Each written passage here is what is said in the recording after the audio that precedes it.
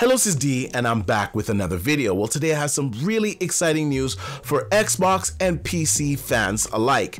Now, I know some of you may be wondering why haven't I uploaded lately, and to be honest with you guys, there just haven't been really interesting stories that I've wanted to cover.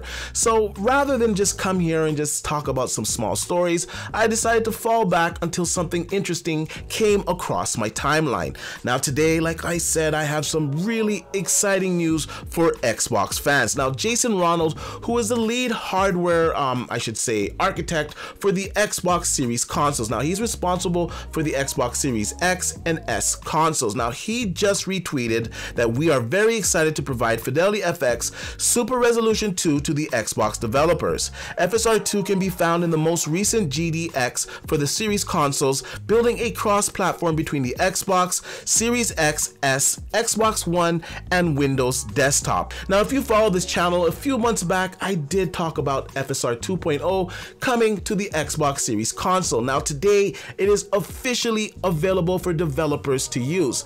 Now developers are getting this into their games in about two days time. So I do expect some of the older titles to get patches, as well as some of the newer titles that will be coming out in the fall to have FSR 2.0 implemented. Now since the launch of FSR 2.0, we do have a couple of games where we can see the differences that FSR 2.0 brings over the native resolution. Now, first of all, you're gonna get a much higher frame rate. Now, if you choose the highest preset on FSR 2.0, it looks exactly the same as native resolution and sometimes even better than the native image quality. Now, there are some differences between DLSS and FSR 2.0. FSR 2.0 is not using machine learning, so to speak. It is using an algorithm that was trained on machine learning, so it's trained to upscale certain images, but it's not actually using machine learning. Now DLSS, it is a better technology and the output that you get from DLSS is superior to FSR 2.0.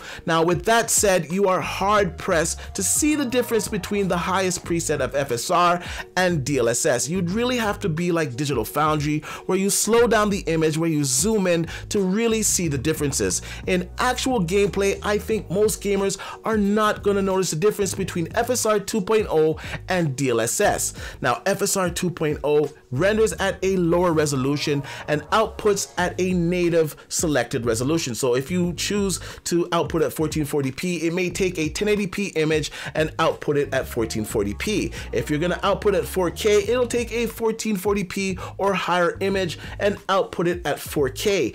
And like I've said, it is very hard to see the difference between that output render and the native render that you get from the same GPU. Now there's some instances where you get better aliasing and the output from a DLSS or FSR implementation looks better than the native render. Now, this brings me to Forza Motorsport 8. Now, recently it was caught up in some controversy.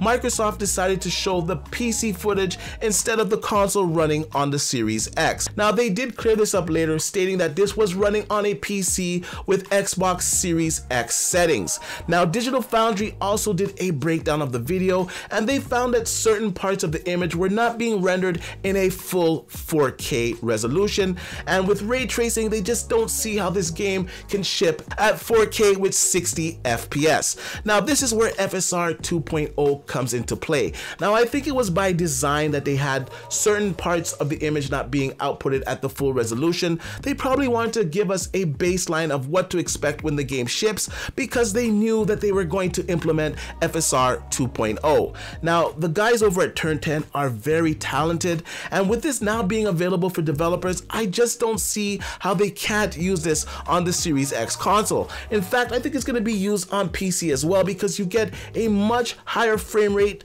with resolution and image quality that looks on par with the native rendering. Now, I do believe that this is coming for Forza Motorsport 8. I'm going to go on a limb and say it's going to definitely be implemented into the game. Now, this has not been confirmed by uh, Turn 10 or any other outlet.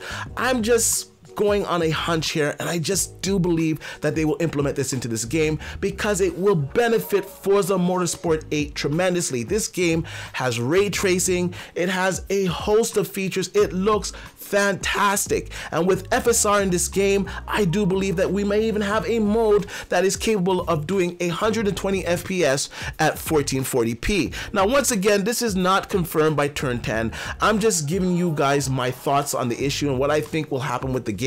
Now, this game doesn't launch until the early part of 2023, so there's lots of time for Turn 10 to implement FSR 2.0 and make tweaks to the game. Anyways, I want to know what you guys think about this. Are you excited that FSR 2.0 is now available to all Xbox developers? Do you expect some games to get patched for it? And what games do you think would benefit the most from having FSR 2.0? Let me know in the comment section down below. And like I usually say, please like, share, and subscribe to the channel.